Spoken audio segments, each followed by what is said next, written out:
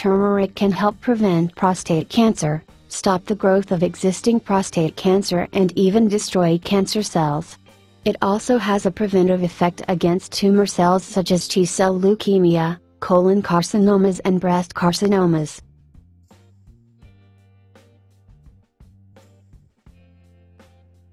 Turmeric can be used in the treatment of diabetes by helping to moderate insulin levels. It also improves glucose control and increases the effect of medications used to treat diabetes.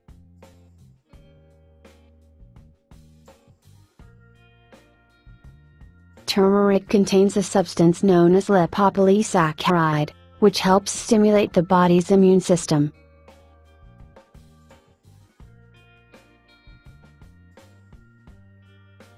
Turmeric is a natural antiseptic and antibacterial agent and can be used as an effective disinfectant.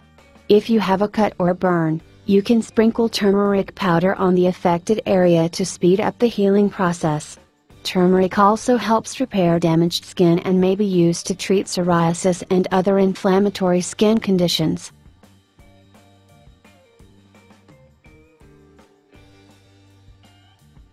Many key components in turmeric stimulate the gallbladder to produce bile, which then improves digestion and reduces symptoms of bloating and gas.